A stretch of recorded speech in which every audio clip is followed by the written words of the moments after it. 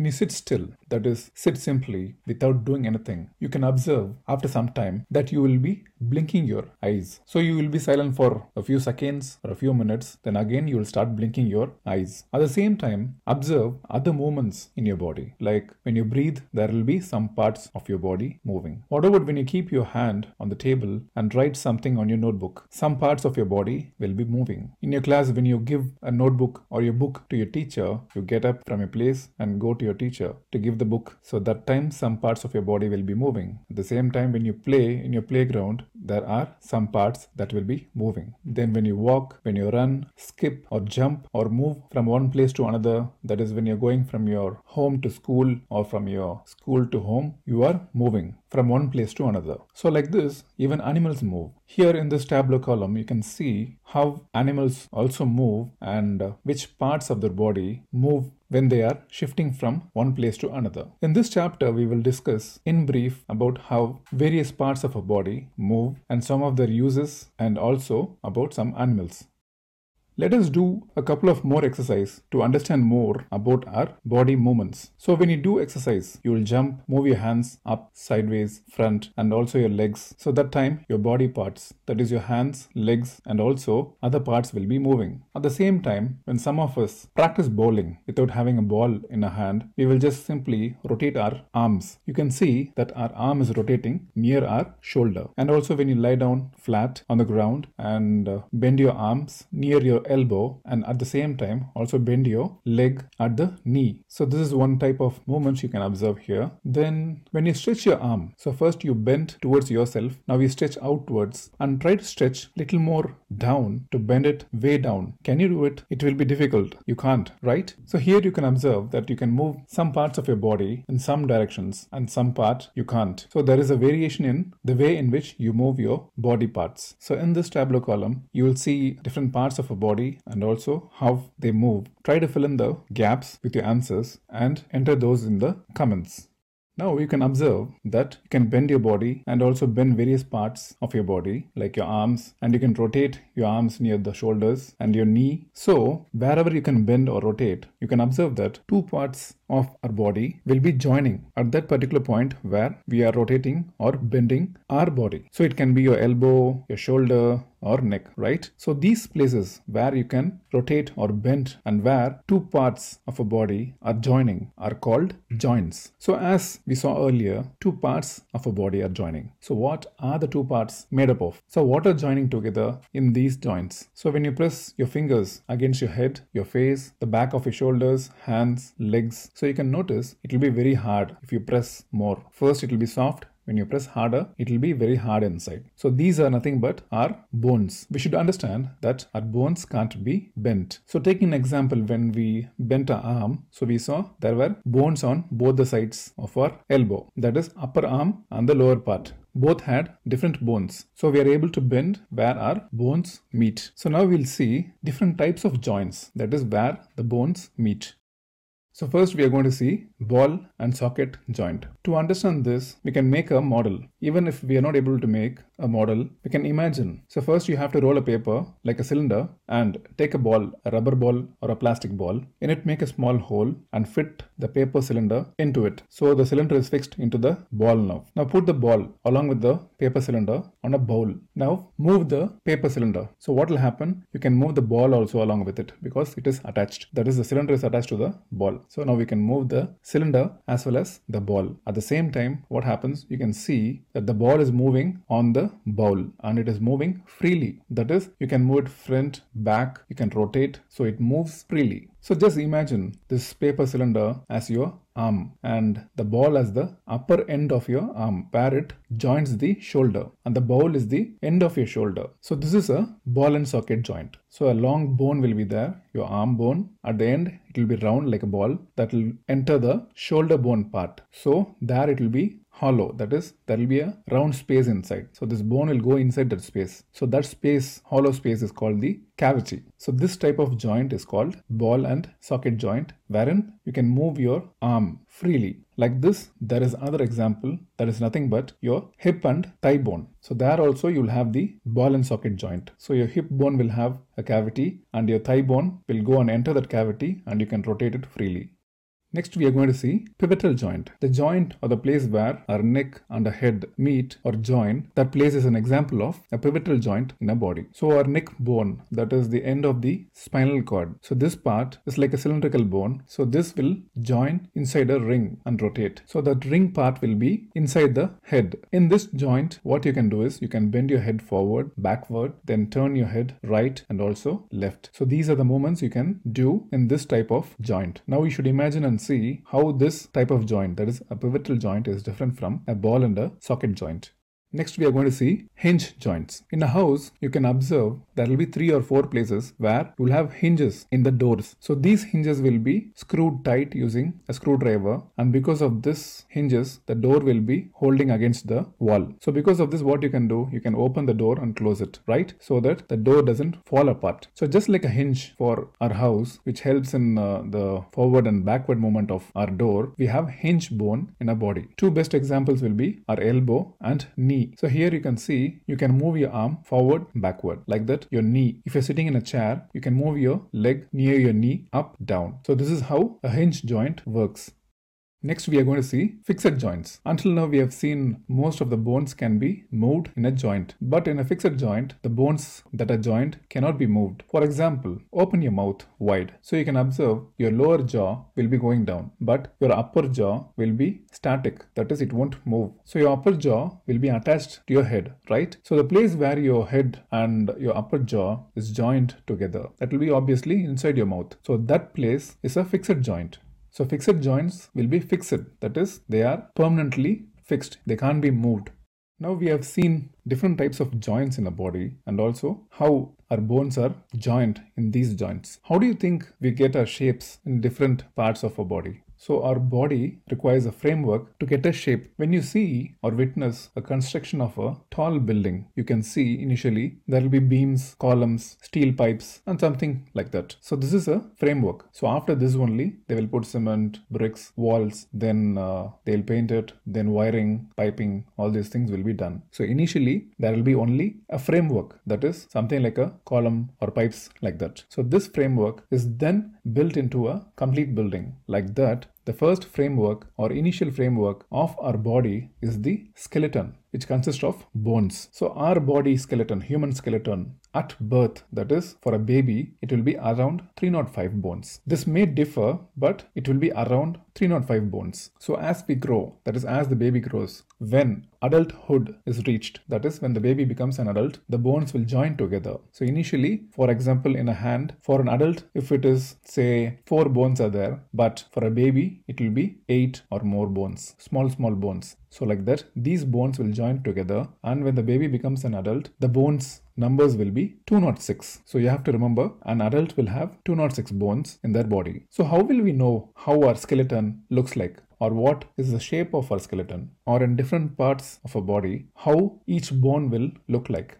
So one thing is you can touch them, feel them, and you can realize like what shape they will be in. To know better, we use X-rays. So in X-ray machine, our body bones shape will be shown clearly. When someone from a family or even for us, if there is some problem with our bones or uh, if we hurt ourselves, sometimes doctors may advise to take an X-ray. So that time the x-ray image that is there will be an x-ray sheet it will show an image so from that image you can clearly see how our bone looks like so next time if you see an x-ray sheet, you can try to feel that particular body part and check how our bone looks in the image and how really our bone is.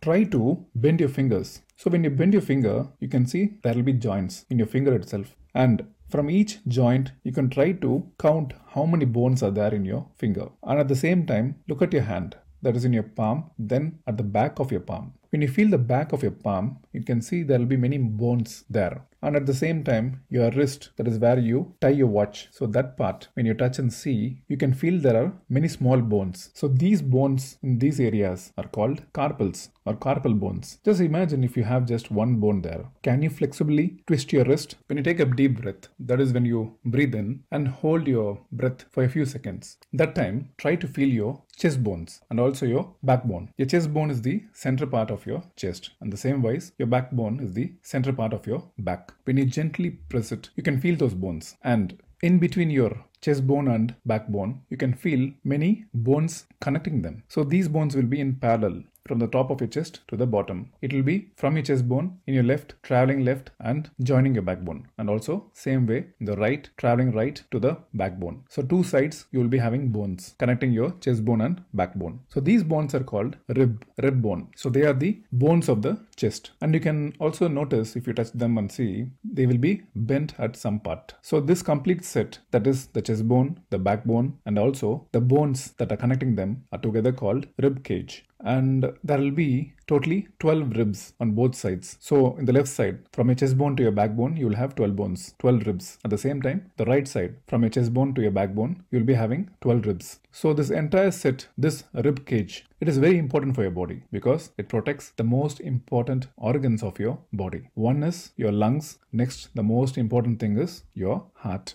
Now you know where your backbone is. So you know from your neck till your back, that is your lower back, you will have your backbone. One more thing you should know is your backbone is not a single bone. It has small, small bones. These bones are called vertebrae. In our backbone, we have totally 33 vertebrae and our rib cage is joined to this vertebrae bones. Just imagine if we have a single backbone, that is a single bone without vertebrae, that is those smaller bones. Can we bend? It will be impossible, isn't it? Now, press your hands against the wall and try to move forward or push yourself. In your backside, near your shoulder, you can see two bones, one on your left and another on your right. So these are nothing but your shoulder bones.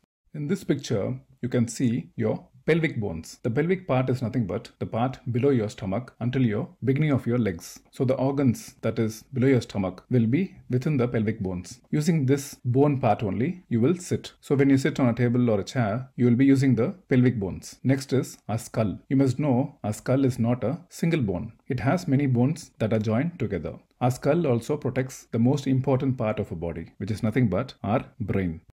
Now we have seen about bones and also about joints.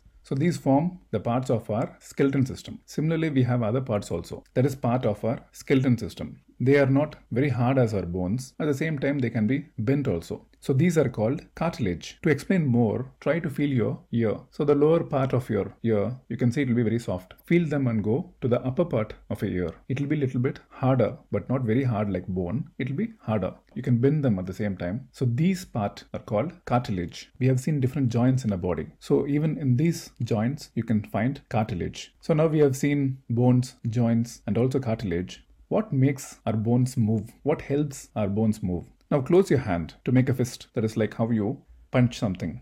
Now bend your arm, that is your hand, near your elbow, and touch your shoulder with your thumb, that is your thumb finger. Now you can notice the upper part of your arm. It will be bulging. It will be big. This is called the muscle. So our muscle, they bulge, that is, they become big when they contract, that is, when they become short or small. Now again stretch your hand. Now we can see your muscle won't be bulging. It will be loose enough. So when you're pulling it closer, your muscle becomes short, stiff, and also it is thick. So that time what happens? It pulls the bone. That is, it takes the bone towards it. Usually in a body, our muscles will be working in pairs. That is, two muscles will be working together. So here, for example, in our arm, when you bent it, the upper muscle, it contracts. So it pulled the bone towards it. At the same time, the lower part of our arm, that muscle will be relaxing. It will be loose. Now when you want to move the bone to the other side, you just relax your hand. That is you stretch. So now what happens? The lower part of the muscle, it contracts and pulls the bone towards it. The upper part will now relax or be free. So this is how our muscle pairs work. So two muscles will be working together. And one more thing you have to know is the muscles can only pull. It can't push. That is when it contracts, it pulls towards it. It can't do against or push in the opposite side. So you have seen how muscles and bones help our body parts move and also help in our movement. How is it for animals? Do they have bones and muscles and how they move? That we will learn in the next section. In your garden, you must have noticed earthworms, especially when uh, you dig into a flower pot or sometimes in wet mud. You can see earthworms inside. When you dig it out and uh, put it on the ground, try to observe how it moves. You can see a lot of rings in its body, like uh, a bunch of bangles attached together. That is how the earthworm looks. So these are the parts of the earthworm's body. It doesn't have any bones. Instead, it has muscles inside. So these muscles only help the earthworm move. So while moving, what happens is first the earthworm extends its front part, that is front part of the body. So this time the back side, that is the rear part, will be fixed to the ground. Then what happens? It moves the rear part, the back side forward. Keeping the front part fixed. This is how it extends, shortens its body and again extends like that earthworm moves. So here you can see using its muscle, the earthworm is having two types of movements. One is expansion, next is contraction. And while it is moving, it secretes, that is from its body, a slimy substance, that is a watery gum like substance comes out. So using this substance only, it uses to move. And first we saw when it is extending its front part, it fixes to the ground. How it fixes to the ground? That is because it has lot of hair under its body. These are called bristles. They are very tiny and uh, it will be attached to the muscles of the body of the earthworm. So because of these bristles, the earthworm will have a good grip on the ground. And have you imagined how the earthworm moves inside the soil? You know, inside the ground, hardly there will be any space for the earthworm to move. So, how does it move actually inside the soil? What it does is it will eat the soil. It will eat, move little forward, then digest and throw the undigested soil out, and again eat some soil, move forward, throw some undigested soil out. So, like this only, earthworm moves inside the soil. And because of this, one advantage is the soil will get richer. The undigested soil it is throwing out, no? So it is very rich for plants. That is why we say earthworm are friends of farmers. Next, we are going to see snail. Snail you must have seen in your garden and sometimes it will be in fields, in villages and also when it rains in wet part, sometimes snail will be coming. And in the middle of the snail, you must have seen a round part, a big round structure. This is called the shell of a snail. It is also called the outer skeleton, but actually it is not made of bones because in human bodies, skeleton means the bone structure. But for a shell, it is not made of bones. It is just a part and uh, the shell is also a single part which is mounted on the body of the snail and it won't help in the movement of the snail. So whenever the snail has to move, it has to take or carry the shell along with it. Yes, it is like a burden for the snail, but the shell is mainly for the protection of the snail. So in case if there is any danger, you would have seen the snail will go inside the shell. So it will hide inside to protect itself. And how does a snail move? If you take the snail and uh, place it on a glass table and go beneath the table and have a look at its body, you can see there will be a thick part and in the end you can see the snail's head. So this thick part, that is the foot of the snail. It is made up of strong muscles. So using this only, the snail will be moving. And you can see when it is moving, there will be a continuous waves going. That is how uh, sea waves move from one place to another. Like that, a small continuous wave will be there. So for one wave, a small movement. Then for the next wave, another movement. Like this for every wave motion, there will be movement for the snail. Next, we are going to see cockroach. I know many people here find a cockroach irritating, but uh, even a cockroach is a living being. So we'll see some details about it. A cockroach walks, climbs mostly over the walls, and also a cockroach flies. A cockroach has three pairs of legs. That is, totally six legs are there for a cockroach. Using those legs only, a cockroach will walk and the body of the cockroach will be covered by a skeleton. These are outer skeleton. And uh, there will be number of plates attached continuously so that forms the part of this skeleton system of cockroach. And these skeleton that is these plates help the cockroach move. And next thing is a cockroach has two pairs of wings. Mostly when you see a cockroach you must have noticed the wings of a cockroach. That will be visible on top of the cockroach. So this is attached to the body and this attachment is also behind the head of the cockroach. And cockroach has two important muscles. One is the muscles near its legs. So using that only the cockroach walks. Next important muscle is the body muscle. This muscle helps the wings of the cockroach for the cockroach to fly. Next we are going to see birds. Birds you must have seen flying in the air and they also walk on the ground. And sometimes you must have seen ducks and also swan that swim in the water. Have you imagined how birds fly? This is because the body of the bird is well suited, that is, it is perfectly fit for flying. One important thing is the bones of the bird are hollow, that is, there will be gap inside. It won't be thick and hard. There will be some gap inside the and it will be hollow, and because of this, the bones are light. Next is the hind limbs, that is, the back limbs. You can also say like uh, leg bones. So those bones help in walking and also for the birds to sit. Sometimes you must have seen birds sitting in a nest. This is easily done by the birds because they help in sitting. Next is forelimbs. Forelimbs are nothing but the frontal limb bones. You can also say like uh, hand bones, but they don't have hands. So these bones actually are modified to form wings. That is To these bones are only the feathers attached, using which the bird flies. The shoulder bones of the birds are very strong. So because it's flying, so that part, the shoulder part, those bones are very strong. And also another important thing that uh, helps the birds fly are the breast bones, that is the chest part of the bird. So here there will be muscles that are attached to the wings. So these muscles are held by the breast bones, which helps the wings move up and down for the bird to fly. During rainy season, you must have made paper boats and set it to sail in the water on the roads. So have you noticed what the shape of the boat is? It will be almost similar to a shape of a fish. So the head and the tail will be smaller than the main body or the middle part of the fish. So this type of shape is called streamlined. You must have seen the shape of a boat or a ship. All these are streamlined shapes. So that is the shape of a fish also. Because of this shape only, the fish is able to swim inside the water easily. You know, the fish has a skeleton inside. The central part of the fish will be full of bones. So this is the skeleton of the fish. Outside these skeleton is fully covered with muscles. So these muscles only help in the movement of a fish. So what happens when the fish is swimming inside the water? The muscle makes the front part, that is from its middle part to the head, that part turn to one side. At the same time, the tail will move or swing in the opposite side. That is, for example, the fish is tilting to the right side, the tail will swing in the left side.